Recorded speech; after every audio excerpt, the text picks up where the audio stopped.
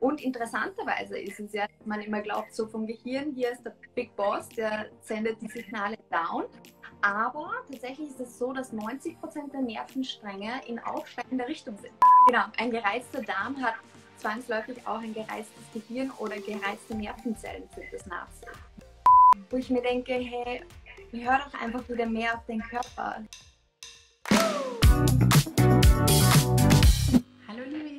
Community, schön, dass ihr heute beim Insta Live dabei seid. Heute wird uns Michaela Meyer erklären, was es ähm, zwischen dem mit dem Zusammenhang zwischen Darm und Psyche auf sich hat. Michaela ist ähm, Ernährungstrainerin, Autorin und hat sich vor allem auf dieses Thema spezialisiert. ja, magst du dich ähm, gerne einfach nochmal selbst vorstellen? Ja, gern. Also, äh, liebe Maya, danke, dass ich da sein darf. Ich bin die Michaela, bin Unternehmerin, diplomierte Ernährungstrainerin, 29 Jahre jung und jetzt gerade hier in Amsterdam äh, ich verstehe mich aber als Food-Nomadin. Das heißt, ich schaue und erforsche, was die Welt kulinarisch so zu bieten hat. Und ja, gebe mein Verständnis von Ernährung auf unterschiedliche Art und Weise weiter. Sind also Workshops oder jetzt hier mit dir in diesem Instagram Live. Super, ja, vielen Dank und da freue ich mich total. Heute werden wir uns, äh, wie ich schon angekündigt habe, besonders mit dem Thema Darm und Psyche beschäftigen, äh, was ich ein sehr, sehr spannendes Thema finde. Wie kam das denn dazu, dass du dich mit dem Zusammenhang zwischen deiner Darmgesundheit und deinem psychischen Wohlbefinden beschäftigt hast? Äh, puh, das war, das, das ist schon ein bisschen länger her. Mhm. Ich weiß es noch, das war im Juli 2019. Da lebte ich noch in Hamburg, war Development Managerin, äh, ganz was anderes und habe meinen Job an den Nagel gehängt, weil er mich nicht mehr glücklich gemacht hat. Im Gegenteil, er hat mich super, super unglücklich gemacht. Ja. Ich habe äh, wirklich depressive Züge angenommen. Ich war an einer Burnout-Gruppe beteiligt. Und ironischerweise hat mir diese Diagnose mein Darm schon lang im Voraus gestellt. Ja. Nur konnte ich da den Körper noch nicht lesen. Ich wusste nicht, was er mir zu sagen hat. Ja? Also ich war klar, ich war ständig müde, ich war abgeschlagen, war häufig krank, hatte Verdauungsprobleme, mir ging es nicht gut. Das konnte ich verstehen. Aber mehr auch nicht. Und dann habe ich mich immer mehr mit der Ernährung auseinandergesetzt. Ähm, vorrangig eigentlich, weil ich so viel Spaß im Kochen hatte, weil es für mich so ein meditativer Ausgleich war habe dann ein Studium zur diplomierten Ernährungstrainerin begonnen und habe dann verstanden, welchen Einfluss Lebensmittel auf unser Wohlbefinden haben können. Und das hat mich so gefuchst, dass das mein absolutes Herzensthema geworden ist und wo ich gesagt habe, ich will dieses Wissen hinaus in die Welt tragen. Ja, total schön. Ähm, ja, und ich denke mal, das ist auch eine Situation, ne, die du beschreibst, so wie es dir ging, wo sich ähm, ja auch leider viele mit identifizieren können. Ja. Ähm, Ne? Also so geht es, das hört man ja wirklich von vielen Menschen, dass es ihnen so geht. Ähm, wie konkret können wir uns denn jetzt diese Verbindung von Darm und psychischer Gesundheit vorstellen? Also ne, du hast irgendwie gesagt, dir ging es psychisch nicht gut, du hattest auch Verdauungsbeschwerden. So was ist da für Zusammenhang? Hm. Also beim Darm und beim Hirn ist es so, also um das Ganze zu verdeutlichen, kann man sich das vielleicht an einem Bild vorstellen, ja, dass Darm und, und Hirn so Nachbarn sind quasi. Also sie sind in super engen Austausch miteinander, aber sie führen auch ihr Eigenleben. Also so kann auch der Darm eigenständig, losgelöst von irgendwelchen Befehlen vom Gehirn, Hormone, Botenstoffe bilden, ja, beispielsweise Glückshormon oder Dopamin, solche Geschichten. Aber nichtsdestotrotz, wie gesagt, dieser ganz, ganz enge Zusammenhang zwischen den beiden Nachbarn. Ja, man kennt das ja oft, man hat Stress, Alarm und äh, spürt man gleich in der Bauchgegend. Mhm. Viele Sprichwörter resultieren ja danach auch, dass man sagt so, ah ja, das schlägt mir auf den Magen. Oder heute, mein, mein, für alle, die jetzt zuhören, mein Instagram-Account ist down. Das war purer Stress, ja. Und für alle, die zuhören, ich konnte bis heute nicht aufs Klo gehen, ja. Also das löst sich bei mir unmittelbar auf den Magen aus.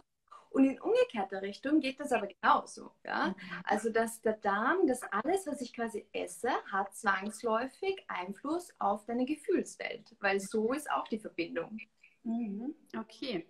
Ja, super spannend. Ähm, und ich habe vorhin schon mal diesen Begriff Darm-Hirn-Achse ähm, genannt. Kannst du uns erklären, was das bedeutet? Also was ist da für eine Verbindung? Genau, die Darm-Hirn-Achse, die versinnbildlicht quasi diesen nachbarschaftlichen Austausch, was ich damit meinte, zwischen Darm und Gehirn. Man kann sich das vorstellen wie eine mehrspurige Autobahn, wo einfach diese Botenstoffe, diese Neurotransmitter hin und her geschickt, geschickt werden, ja. Und interessanterweise ist es ja, man immer glaubt, so vom Gehirn, hier ist der Big Boss, der sendet die Signale down aber tatsächlich ist es so, dass 90 Prozent der Nervenstränge in aufsteigender Richtung sind. Das heißt, das versinnbildlicht ja mal, welchen Einfluss der Darm auf unser aller Wohl hat. Ja, also es ist wirklich erstaunlich. Und man sieht einfach in Studien immer mehr, dass beispielsweise bei depressiven Menschen die Zusammensetzung des Darmmikrobioms anders ist als wie bei gesunden Menschen. Ja. Und äh, ja, da geht jetzt alle, die Entwicklung geht dahin und wir schauen, wie es weiter wird. Mhm. Okay. Ja, super spannend. Also das heißt, nicht nur quasi, wenn wir Stress haben, wirkt sich das auf die Verdauung aus. Ne? Manche Menschen kriegen Bauchschmerzen, andere kriegen Durchfall, ja. sondern auch, wenn der Darm, sage ich mal, wenn es dem nicht so gut geht, wirkt sich das auch auf die Stimmung aus. Ja, mhm. absolut. Also das kann man wirklich sehen. Und ähm, genau, ein gereizter Darm hat zwangsläufig auch ein gereiztes Gehirn oder gereizte Nervenzellen führt das nach sich. Mhm. Und oft auch depressive Stimmungen. Mhm. Okay. Ähm, wie können wir denn jetzt zum Beispiel feststellen, dass da im Darm irgendwie was nicht stimmt? Also vielleicht hat man schon so ein Gefühl dafür, also spürt das schon, wie kann man da jetzt mal nachgucken, was da los ist? Also nachgucken ist ja schön. Also grundsätzlich beim, beim, beim Darm ist es so, dass da Billionen von Bakterien drinnen sind. Ja? Und da gibt es nützliche und weniger nützliche. Mhm. Und das Ziel sollte sein, dass diese nützlichen die Überhand haben. Dann ist alles tippitoppi und uns geht's gut. Und oft ist es so, dass es nicht so ist und dann spüren wir die Anzeichen ganz, ganz schnell. Ja? Also beispielsweise ein übelriechender Stuhlgang kann schon das erste Alarmzeichen dafür sein, dass nicht alles gut ist. So, und jetzt ist es ganz spannend, weil jetzt habe ich ja hier nicht meinen Original-Account. Das heißt, meine, meine Familie kann nicht zuhören. Das heißt, aus dem Nähkästchen geplaudert, Maya. Mhm. Ich komme aus einem Bauernhof in Österreich. Und du kannst dir vorstellen, was da gegessen und getrunken wird den ganzen Tag. Und du kannst dir vorstellen, wie es da auf der Toilette riecht. Und ich sage immer, Mama, irgendwie, irgendwas stimmt da nicht mit deinem Darmmikrobiom. Ja? Und äh, er stellt ihn so an, das hat ja jeder irgendwie mit dem Darm. Und das höre ich so oft. Das höre ich auch bei meinen Klienten. Ja, es, heutzutage ja jeder irgendwas. Nein, nicht jeder hat irgendwas. Das ist wirklich ein, ein Alarmsignal. Ja?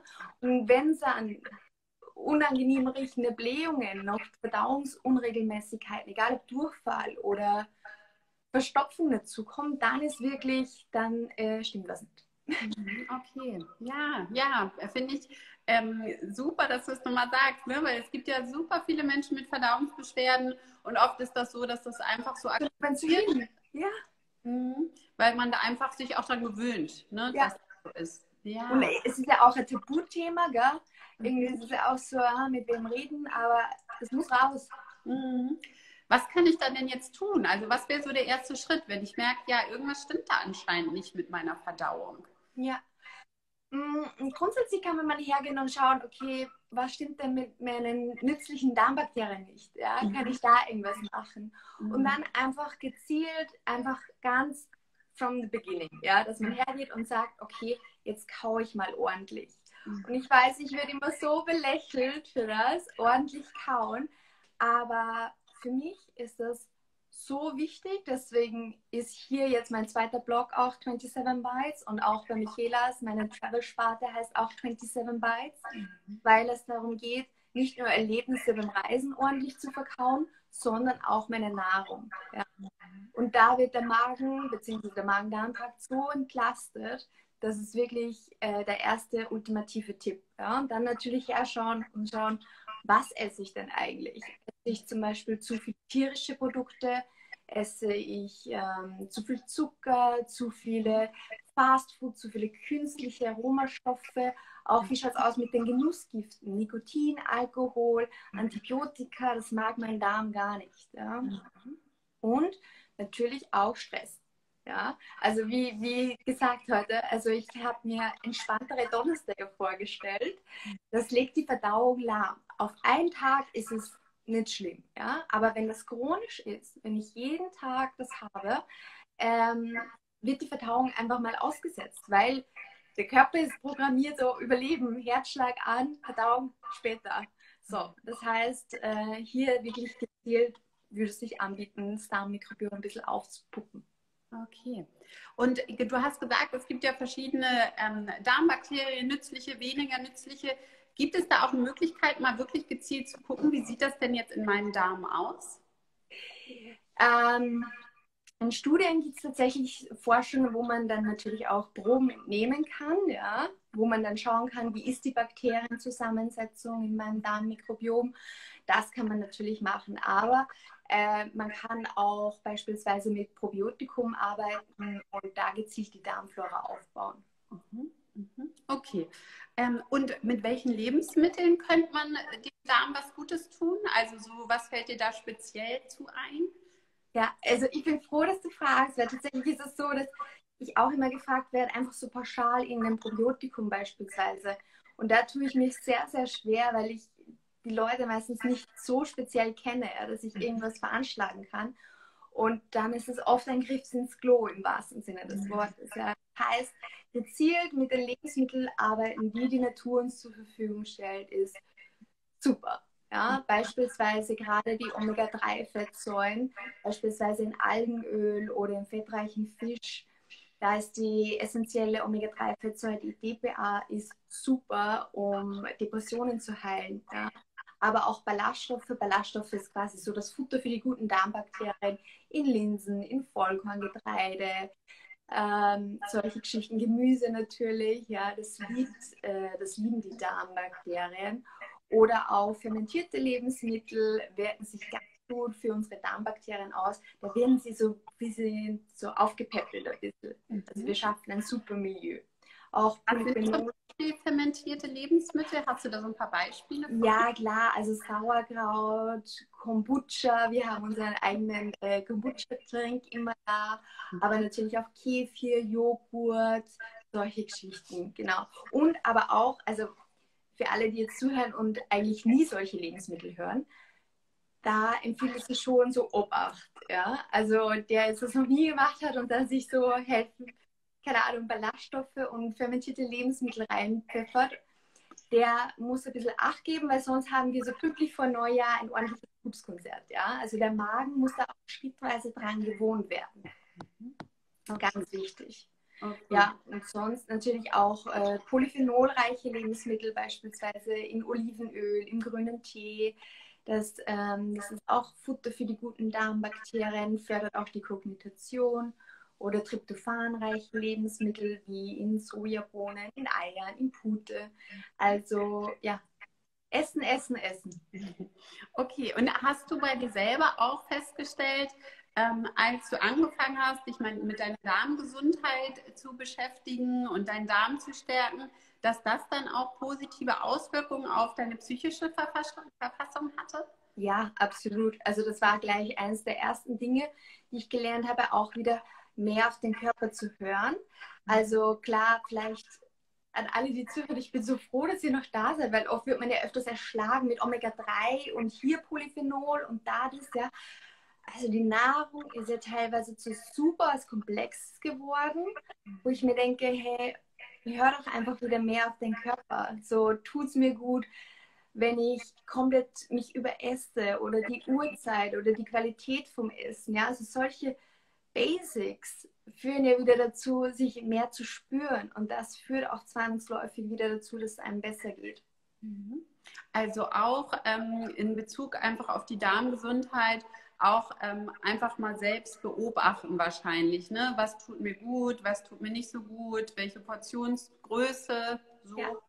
Man kann mit ähm, Ernährungstagebuch beispielsweise arbeiten. Das empfiehlt sich immer gerade am Anfang, wenn man vielleicht merkt, okay, ist da irgend, oft erkennt man dann so ein Muster, ah, okay, bei solchen, solchen Lebensmitteln reagiere ich immer so und so, ja. Ähm, also sich einfach mal ein bisschen beobachten und äh, ja, Zeit nehmen für sich selbst, das herauszufinden. Ein super spannender und abenteuerlicher Prozess, der das sein kann, ja. Okay.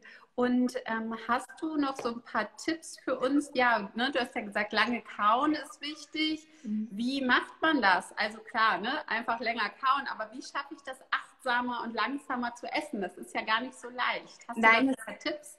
Das ist wirklich nicht einfach. Also am Anfang und gerade, ne, wenn man jetzt so Suppen hat, so Kürbissuppen oder, oder Kartoffelsuppen jetzt zur Saison, das ist ja, das schwimmt man ja runter. Man muss sich aber da mal vorstellen, welche Lebensmittel da das dahinter stecken. Klar, die Zerkleinerung, die hilft natürlich im Körper, aber trotzdem. Das heißt, auch hier bei, bei Suppen, bei Smoothies wirklich gut einspeicheln. Und bei alles, was ein bisschen bissfester ist, einfach mal zwingen. Einfach mal hergehen und sagen, okay, jetzt kaue ich einfach mal 27 Mal. Und äh, das ist am Anfang so die Überwindung. Und das ist am Anfang dann auch super. Mach das mal mit Brot. Brot, du wirst merken, es wird dann auf einmal süßlich, ja. Oder wer Mandeln mag, es wird dann auf einmal marzipanmäßig. Also es ist super abgefahren, was da entsteht. Also erst wirklich achtsam sein. Und ich glaube, dann ist der erste Stein so ins Rollen gebracht. Und alles andere kommt dann von sich, wenn man sich immer wieder ein bisschen dazu ja, hinsetzt und das äh, macht. Okay. Magst du uns ähm, zum Schluss noch verraten, was so dein Lieblings-Happy Food ist? Also äh, was dich so richtig, wo du merkst, oh, das hat einen richtig guten Effekt auf mein Wohlbefinden. Ja, ich habe, äh, wie gesagt, heute war ein bisschen ein stressiger Tag. Ich habe mir heute mein äh, rotes Linsendahl gemacht.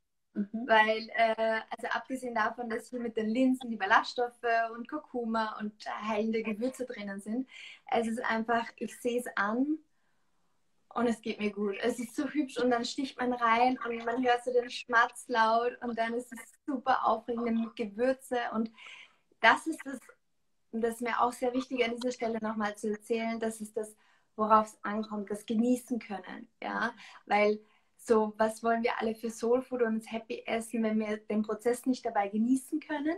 Mhm. So, Essen, das gut schmeckt, das beruhigt uns, das löst Glücksempfinden aus und das, um das geht so, weißt du? Mhm. Ja. Ähm, was ist denn an, äh, magst du uns doch verraten, was an Kurkuma denn so gut ist? Also was hat das so für einen Effekt? Kurkuma wie Kurkumin ist quasi, äh, löst Entzündung oder heilt Entzündungsprozesse in deinem Körper. Ja? Und äh, eine super aufregende Wurzel aus dem indischen äh, Bereich. Und genau, also die, jetzt sind wir erstmal da, dass wir sagen, die Entzündungsprozesse werden, werden reduziert, aber welche Auswirkungen es noch hat, das stecken die Forschungen auch noch in den Kinderschuhen. Okay, also wie bei dem Thema Darm und Psyche auch, ne? die Darm-Hirn-Achse werden wir da wahrscheinlich in den nächsten Jahren noch ganz viel Neues drüber lernen. Ja, was ist denn dein Happy Food? Oh, gute Frage. Ähm, also ich mag sehr, sehr viel, super gerne. Und ich glaube, gerade ist das einfach Grießbrei. Wirklich? ähm, weil das einfach so schön mit Zimt, weil das einfach so schön wärmt ist und das liebe ich einfach bei dieser Jahreszeit.